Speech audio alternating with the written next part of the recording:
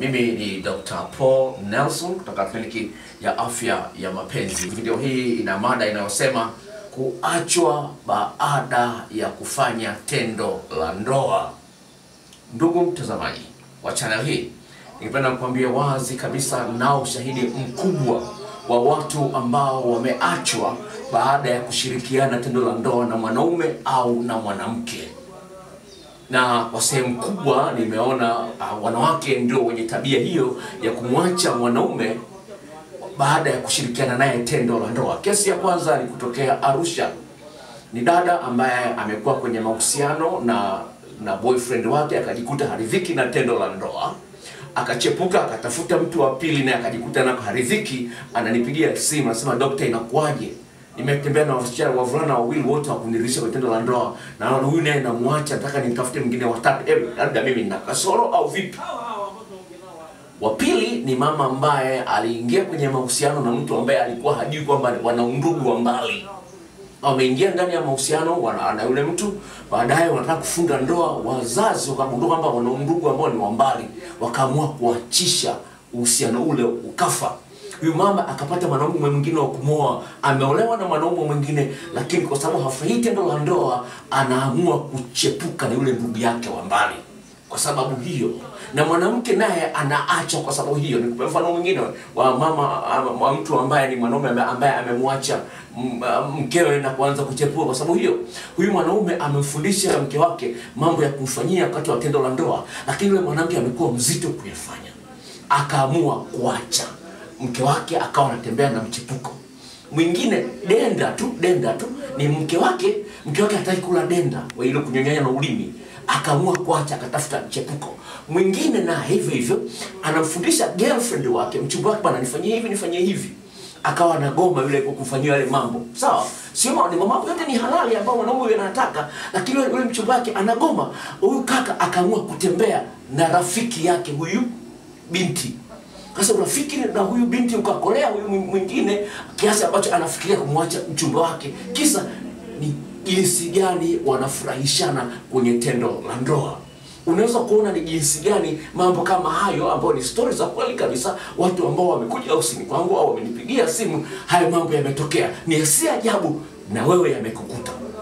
Sasa unapoachwa kutokana na ufundi wako katika tendo la ndoa, unapoachwa kutokana na uwezo wako wa tendo la ndoa, mara nyingi huambiwi kwamba unaachwa kwa sababu hiyo. Kuna wengine wameambiwa, wenye bahati wameambiwa, bwana, rekebisha hapa, rekebisha hapa, lakini wengine hawakuambiwa kabisa.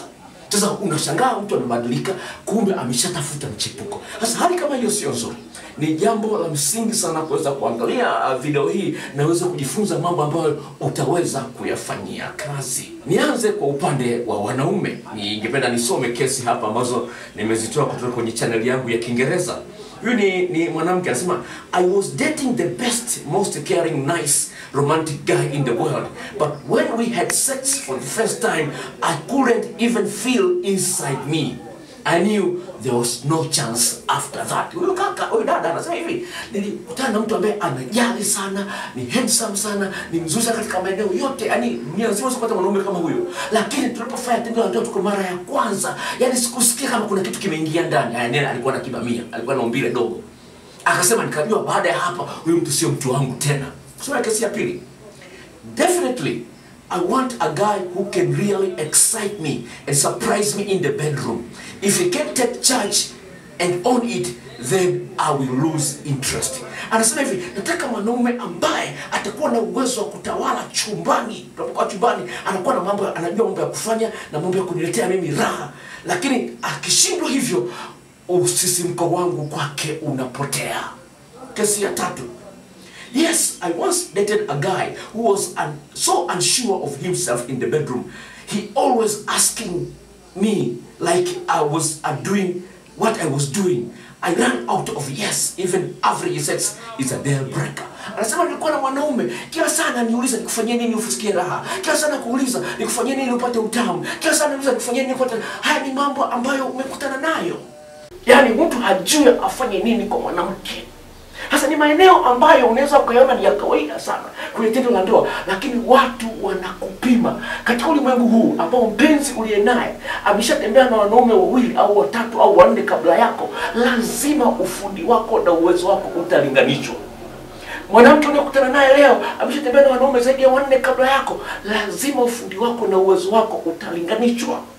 Kwa hiyo wanaume, mnaangalia channel hii, ni muhimu sana uweze kuangalia ni jinsi gani ufundi wenu ulionao, uwezo ulionao ni kitu ambacho kinapaswa kifanyiwe bidii, kiwekwa sawa. Lazima uhakikishe huna tatizo la kuwahi kumaliza. Lazima uhakikishe una uwezo wa kupiga raundi mbili tatu au nne. Lazima uhakikishe una umbile ambalo ni la kiwango, ambalo linasugua vizuri maeneo ya viungo vya uzazi mwanamke. Mwanamke anapata raha ya kutosha kiasi ambacho hata akikumbuka boyfriend wake wa zamani ana, anaona, anaona kwamba yule ni zero. Hizo ni kesi ambazo nimekutana nazo. Nakumbuka baada ya kufiwa na mke wangu, uh, nilitembea na mabinti mabinti ambao wana umri mdogo kuliko mimi. Sasa imagine na umri miaka 49 natembea na binti wa, wa, wa, wa miaka 22. Binti wa miaka 22 nzuri kweli. Ana ananiambia hivi, dokta, nashindwa kukuweka kwenye wazee haupo, kwenye vijana haupo. Yaani mambo matamu anayoyapata. You see? Haya ni mambo ambayo kozi nimekutana nayo katika maeneo mbalimbali. Lakini cha msingi ningependa mtazamaji ni hivi. Uwe mwanaume, uwe mwanamke, una wajibu mkubwa wa kuhakikisha unafahamu jinsi gani ya kumwandaa mwanamke, jinsi gani ya kumwandaa mwanaume. Mwanaume ana maeneo kumi na moja katika mwili wake ambayo mwanamke inapaswa afahamu jinsi ya kushughulikia kwa muda unaotosha. Mwanamke ana maeneo kumi na nne katika mwili wake ambayo yana miisho mingi ya mishipa ya fahamu ambayo mwanaume anapaswa afahamu jinsi gani ya kushughulikia katika maeneo mbalimbali na kwa muda wa kutosha. Sasa usipofahamu hayo, utajikuta kwamba unadharauliwa, lakini hujui kwamba unadharauliwa. Kwenye Biblia kuna kitabu kimoja kinaitwa Wimbo Ulio Bora. Kitabu cha Wimbo Ulio Bora sura ya nane mstari wa saba Nasema hivi, mwanaume anayeshindwa kumfurahisha mwanamke ni wa kudharauliwa kabisa. Kwenye kitabu cha Biblia hivyo hivyo, Kumbukumbu la Torati sura ya 25 mstari wa 4 inasema mwanaume atakapokuwa ametoa mke kwa mwaka mzima, hata ingetokea vita wa kazi, hafanyi kazi yote, mwaka mzima anakaa na yule mwanamke ajifunze jinsi ya kufurahisha mkewe.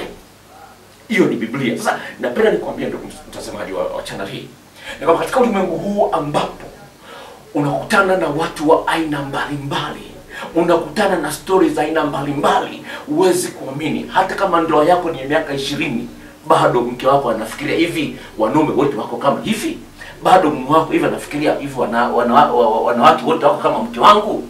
Sasa ukizembea katika maeneo hayo, ndio unakuta mtu anakuacha au anachepuka. Nia kwenye kwenye upande wa message ambazo of course nimezipata kwenye channel yangu ya Kiingereza, manake wa, wenzetu wanaosoma wanao wa, wa wazungu wana uwezo wa kuelezea mambo yao vizuri sana. Sema huyu ni dada sana anazungumza. Huyu huyu ni kaka anazungumza. I want the total package in a woman that includes looks, personality and how she is in a bedroom. Asafi, nataka mtu mwenye seti kamili. Ya awe na maumbile mazuri lakini vile vile kitandani na kwenyewe awe na ufundi naingia kwenye eh, mtu mwingine anasema for sure bad sex no matter how hot the woman or good your connection is with me can put out any spark that was there before. It is a bad it is sad but true. Anasema haijalishi ni mzuri kiasi gani? Una mambo matamu kiasi gani? Lakini utapokuwa kama mwanamke huna utamu kitandani huna ufundi kitandani. Anasema hiyo ni kama vile unatia maji kwenye moto uliokuwa unawaka, penzi linakauka. Ningia mwingine asema hivi, yes I went out with a girl who was bad in bed and after that I couldn't stop thinking about how awkward it was. She was faking all these weird noises and it just didn't feel real. I didn't want a second round of that. Asema nitembea na dada mmoja anajifanya anajifanya fanya tu mambo hata yani nilitoa sauti sauti ah, lakini najua kwamba anajifanya tu. Akasema yani, baada ya kuona anavyo mambo anayoyafanya nikajua kwamba sitamrudia tena. Kwa hiyo unaweza kuona ni jinsi gani kuna watu wanafanya tathmini katika eneo hilo la tendo la ndoa, lakini hujui u, kitu gani umekosea. Mimi mwenyewe nimeshai kuacha mabinti wawili sasa wawili, moja ni half caste kati ya mzungu na mswahili, mwingine ni mpozi ni Mtanzania lakini ni beautiful, lakini kwenye eneo hilo hilo, yani wanaboa kitandani. Ukimwona amevaa vizuri utamtamani kweli, lakini ukimpeleka kitandani zero. Kwa nini mtu anaachwa baada ya tendo la ndoa? Nikipenda nikwambia ndugu mtazamaji, ni hivi katika ulimwengu huu kila mwanadamu anataka afurahie maisha yake kwa kiwango cha juu sana. Sasa katika maeneo mengine ya pesa ya nini na nini na nini, hayo ni rahisi sana, lakini kwenye eneo hili la kipekee ambalo watu wanavuliana nguo, usipokuwa na uwezo wa kumridhisha na kumfurahisha mtu kiasi ambacho anaona kwamba huyu ndio mwanamke sahihi, huyu ndio mwanaume sahihi, napenda nikwambie, kwa uhusiano wa muda mrefu, au kama mtu alikuwa na malengo ya kuwa na wewe kwa muda mrefu, itafikia hatua ataboreka, atakuona ufai hata kama una pesa kiasi gani. Nakumbuka mama mmoja alikuwa anatembea na mtu fulani, sawa, lakini shida ni kwamba alikuwa anamtoroka mume wake, anaondoka na dada yake mwenye watumbo moja, wanaenda wakifika, yule dada yake anakaa pale hotelini na anakaa wakati huyo ameingizwa chumbani. Sasa yule dada ndo anaambia nani, nani dada yangu anam- anamsaliti shemeji, dokta, nimsaidieje? Hiyo sio kesi moja, nimeshakuta ni kesi nyingi za namna hiyo dada mtu anamlinda anamfichia siri mwenzie. Sasa kwa nini haya mambo yanatokea? Ni kwamba watu hawajatoa kipaumbele katika kufurahishana katika eneo hilo. Sasa hivi nimeshakutana na kesi nyingi za wanaume ambao wanawakimbia wanawake, wanakwepa tendo la ndoa na wake zao. Hizo kesi nimekutana nazo nyingi. Sasa hivi kesi za wanawake ambao wanasema sijisikii, wanawanyima waume zao tendo la ndoa ni kubwa mno. Napenda kuambia mtazamaji, uwe uko kwenye kipindi cha uchumba au uko ndani ya ndoa, hili ni eneo ambalo unapaswa ulifanyie kazi kwa kiwango kikubwa. Unaweza usio umeachwa, uhusiano unaendelea, lakini upate mapenzi moto moto. Nataka nikwambie, iwapo tendo la ndoa linakwenda vizuri, lina utamu wa kutosha, napenda nikwambie, mpenzi wako atatafuta kila sababu ya kutaka kukufurahisha wewe kwenye maeneo mengine vile vile. Tafiti zinaonyesha hivi, iwapo tendo la ndoa linakwenda vizuri, lina utamu wa kutosha, linachangia kati ya asilimia kumi na tano hadi ishirini ya ubora na uimara wa uhusiano, na iwapo tendo la ndoa linaenda vibaya, linachangia kati ya asilimia themanini na tano hadi themanini ya migogoro kwenye uhusiano wenu. Kwa ni eneo ambalo linapaswa lipewe kipaumbele, japokuwa sio eneo kubwa, ni kubwa sana, lakini ni eneo ambalo linapaswa kila siku unalifanyia kazi. Ni jinsi gani nitamsaidia mwenzangu anione kwamba mimi ni mpenzi bora kitandani. Usiridhike na kwamba ananipenda no, endelea kumpa sababu zaidi ya yeye kukupenda zaidi. Napenda kuna watu wengi ambao wako ndani ya ndoa, napenda niongee na watu ambao wako ndani ya ndoa. Kuna watu ambao wako ndani ya ndoa kiasi ambacho wanaishi kwa mazoea tu. Wanavumiliana. Yani hakuna mtu ambaye kweli ana ana, ana, ana look forward. Yani anatarajia kupata utamu kutoka kwa mwenzie. Wewe kama umeridhika na mambo ambayo mumeo anakufanyia usitegemee na yeye ameridhika na wewe unayofanyia wewe kama boyfriend wako ameridhika na mambo unayofanyia usitegemee kwamba na wewe mwenyewe umeridhika. Yaani ni hivi wewe unaweza kuwa umeridhika lakini mwenzio hajaridhika sasa nakutana kesi nyingi. Kwa mfano sasa hivi nimeonyesha kesi zinaweza kuwa nyingi mno za wanaume ambao wanataka watembee kinyume na maumbile na wanawake. Kesi zimeanza kuongezeka wingi mkubwa sana, ni kesi chafu. Dada mmoja nakumbuka alinipa story moja ambayo ni ya kweli kabisa katika maisha yake mwenyewe. Boyfriend wake anamwambia nataka nitembee na wewe kinyume na maumbile, akamwambia wewe, hii sehemu ya haja kubwa si hata wanaume wenzio wanao, katafute wanaume wenzio Unaweza kuona sasa katafute wanaume wenzio. Sasa nataka sehemu ya haja kubwa ya kwangu. wote kinyume na mwambia mimi. Wewe si mwanaume na mimi mimi nayo na wewe unayo. Basi tafuta mwanaume mwenzio.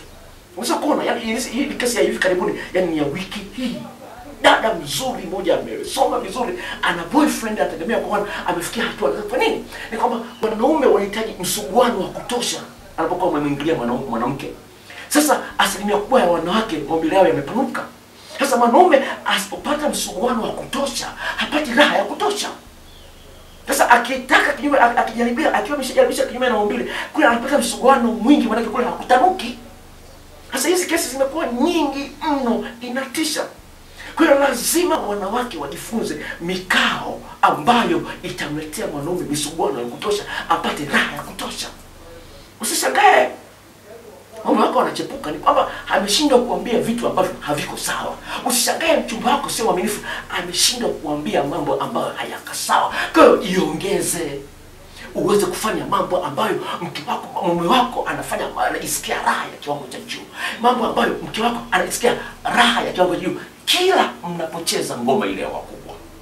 Ni jambo la msingi sana kuweza kuwa mbunifu, kuleta mambo mapya, mambo tofauti, mikao tofauti. Kwa mara ya kwanza anafanya mapenzi kwenye kiti nilikuwa sijawahi kufanya, lakini ni dada ambaye amesema kwenye kiti cha kawaida cha kukalia, atukafanya mapenzi kwenye kiti kwa mara ya kwanza. Ilikuwa ni kitu tofauti, sijawahi kukutana nacho, lakini huyu dada tap kabadilika, ka- karukia kwenye kiti tayari, kaweka mguu sawa. You see, hali kama hizo ina- inakujengea kitu kwenye akili zako kiasi ambacho unamkumbuka huyu mtu kwa kiasi kikubwa. Kumbusu mwanaume au mwanamke, asilimia kubwa ya watu wanafahamu denda genda wanafahamu, lakini unaweza kumbusu mwanamke kuanzia kwenye shingo mpaka kwenye vidole vya miguu. Unaweza kumbusu mwanaume kuanzia kwenye shingo mpaka kwenye vidole vya miguu, ukamlambalamba akajisikia kitu tofauti. Sasa ni jinsi gani wewe unajituma na kujibidisha kwa maarifa uliyo nayo kuhakikisha kwamba mpenzi wako anapata kitu tofauti. Kinyume na hapo, utaachwa na kama utaachwa basi utasalitiwa sana, na kama utasalitiwa sana basi utaona tu mwenzetu amenununa, hana uchangamfu na wewe, hafurahi kuwa na wewe, anakwepa kwepa, yuko tayari nafua angalie TV kuliko kuangalia kuongea na wewe, yuko yuko, yuko tayari afadhali angalia YouTube kuliko kuongea na wewe. Hapo umeachwa kisanii, umeachwa peke yako, huna mtu wa kuongea naye, huna mtu wa kucheka naye, huko na kwenyewe ni kuachwa. Usikubali kuachwa kwa sababu hujui mambo ya kumfanyia mumeo. Usikubali kusalitiwa kwa sababu hujui mambo ya kumfanyia mke wako. Jijenge kiakili na kimaarifa, uwe mpenzi aliye bora. Ndugu mtazamaji, na kualika usubscribe kwenye channel hii ili uweze kupata video mpya, upate taarifa. Kuna kibox chekundu pale kimeandikwa subscribe au kwa Kiswahili wameandika fuatilia click pale jisajili, ili kila video mpya ambayo naiweka iweze kupata taarifa. Kila nitajitahidi kuwa naweka video mara kwa mara mbaya aina kwa mada tofauti tofauti. Kwa hiyo subscribe pale, waambie marafiki zako kwamba kuna channel hii inahusiana na masuala mapenzi, waweze kujiunga, waweze kufurahia masuala haya ya kimahusiano na kimapenzi. Nilipata message kutoka dada mmoja anaitwa Pendo kutokea kule Arusha, anasema yeye na mume wake wameboresha mahusiano yao kutokana na kuangalia channel hii kwa muda wa miezi miwili tu toka nimeianzisha. to ni juu yako wewe, waambie marafiki zako, mwambie mchumba wako, mwambie boyfriend wako, kuna kitu kipi cha kujifunza toka channel ya Ufalme wa Mapenzi. Kwa wale marafiki zangu ambao wako kwenye uh, Facebook, tafuta channel hii kwa kuandika Dr. Paul Mwaipopo. Dr. Paul Mwaipopo, utaingia kwenye YouTube, utafuta kwa jina hilo, Mwaipopo kama wawili au watatu hivi, ni rahisi kunipata. Kwa hiyo subscribe pale, jiunge pale, jisajili uweze kuwa unapata taarifa za video mpya. Mungu akubariki na kutakia maisha ya furaha katika mahusiano yako ya kimapenzi.